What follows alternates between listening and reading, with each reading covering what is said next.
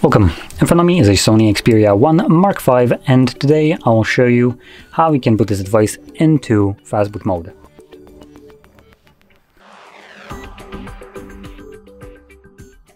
So to get started we want to turn off our device.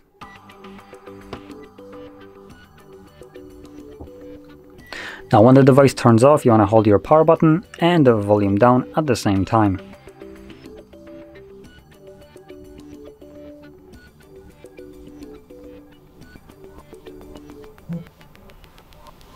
Once you see the Sony logo, let go of the power button, but keep holding volume down. This will redirect you to recovery mode, so in here, using your volume buttons, you want to select third option, and then confirm it with the power button. Obviously the option is called enter fastboot. And there we go, we are now in fastboot mode. Now in here we have a couple options. We have reboot system now, which takes us back to Android, reboot or enter recovery mode, which takes us a step back, reboot to bootloader, which uh, does nothing.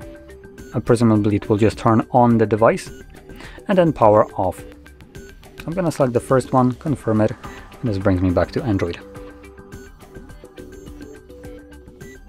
And there we go. So, if you found this very helpful, don't forget to hit like, subscribe, and thanks for watching.